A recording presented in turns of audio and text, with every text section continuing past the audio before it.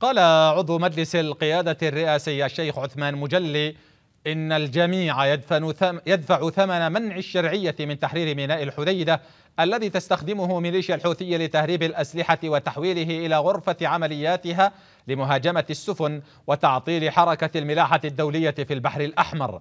وأكد مجلي خلال لقائه وزير الدولة البريطاني للشرق الأوسط وشمال أفريقيا هاميش فالكونر أن الدور الإيراني التخريبي امتد ضرره إلى الإقليم والعالم بتزويد ميليشيا الحوثية الإرهابية بالأسلحة والصواريخ البالستية والطائرات المسيرة وتهديد السفن التجارية في البحر الأحمر والعربي وإعاقة تدفق سلاسل الغذاء وإحداث أزمة عالمية.